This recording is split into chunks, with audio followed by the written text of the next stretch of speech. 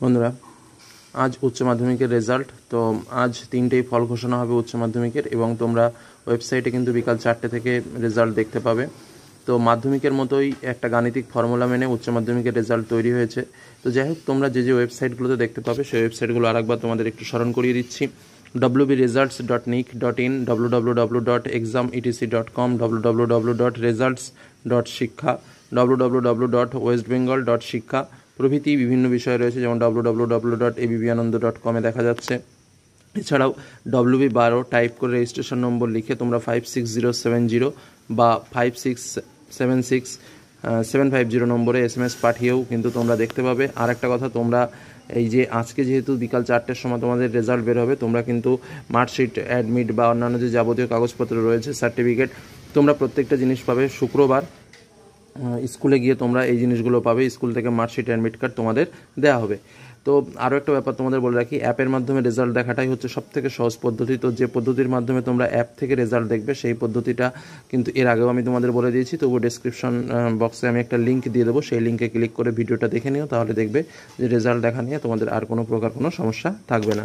আরও কিছু গুরুত্বপূর্ণ কথা তোমাদের সামনে শেয়ার করি, যেটা হচ্ছে যে সকাল তেইশে জুলাই সকাল এগারোটা থেকে স্কুলগুলিকে মার্কশিট ও সার্টিফিকেটের সঙ্গে অ্যাডমিট কার্ড দেওয়া হবে। অর্থাৎ তোমরা তারপরে এগারোটার পরে স্কুলে যাবে, বারোটা একটার দিক থেকে হয়তো তোমরা এগুলো হাতে পা শুরু করবে।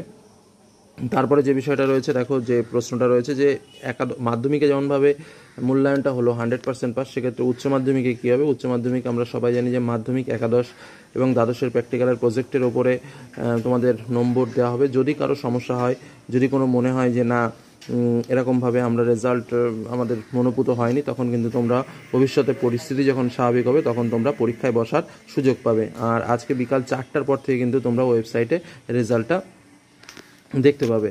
আরও একটা সাইট আমি তোমাদের বলছি, যেটা হচ্ছে এবিপি ডব্লিউবি বারো dot ABP live dot com এখান থেকেও কিন্তু তোমরা লাইভ রেজাল্টগুলো কিন্তু জানতে পারবে এই জায়গাটা থেকে।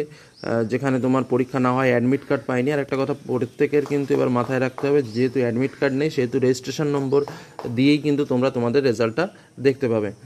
আচ্ছা এবার উচ্চ মাধ্যমিকের ক্ষেত্রে কত হবে? হান্ড্রেড পার্সেন্ট হবে কি একটু কম হবে? সেটা নিয়ে যদিও সংশয় রয়েছে, তবুও মাথায় রাখবে যে উচ্চ মাধ্যমিকেও কিন্তু প্রচুর পরিমাণে পাশ করবে। তবে ব্যক্তিগতভাবে বলছি হান্ড্রেড পার্সেন্ট হওয়ারই সম্ভাবনা কিন্তু সবচেয়ে বেশি রয়েছে। সেটা দেখা যাক, রেজাল্টটা পাবলিক হোক, তারপরে সেটা বিষয়টা জানা যাবে। তারপরে যেটা আরেকটা হচ্ছে যে, একাদশে ভর্তির অ্যাডমিশন যথারীতি কালকে একাদশের অ্যাডমিশন দিয়ে দিয়েছে নিজের স্কুলে এবং অন্যান্য স্কুলে, সে বিষয় নিয়ে তোমাদের সামনে আমি ভিডিও করেছি।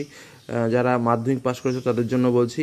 তো, দুই থেকে চোদ্দ তারিখের মধ্যে যারা নিজের স্কুলে ভর্তি হবে, তারা ভর্তি হয়ে যাবে এবং তারপরে ষোলো থেকে তিরিশের মধ্যে যারা অন্যান্য স্কুলে ভর্তি হবে, তারা কিন্তু ভর্তি হয়ে যাবে।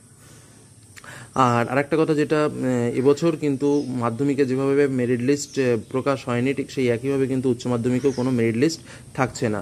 আর সাধারণভাবে করোনা পরিস্থিতির মতো এবছরও বাতিল হয়েছিল উচ্চ মাধ্যমিক পরীক্ষা এবং যে মূল্যায়ন পদ্ধতি, একটা আলাদা মূল্যায়ন পদ্ধতি তোমরা জানো, সেই মূল্যায়ন পদ্ধতি দিয়েই কিন্তু এবার মূল্যায়ন করা হয়েছে। আর শুধুমাত্র রেজিস্ট্রেশন নম্বর দিয়েই দেখা যাবে তোমাদের রেজাল্ট তো এই হলো গুরুত্বপূর্ণ কিছু তথ্য তোমাদের সামনে শেয়ার করলাম উচ্চ মাধ্যমিক দু হাজার একুশ সম্পর্কে। আশা করি প্রত্যেকের রেজাল্ট ভালো হবে, প্রত্যেকেই আনন্দ পাবে, এটুকু বলে আজকের আলোচনা শেষ করলাম।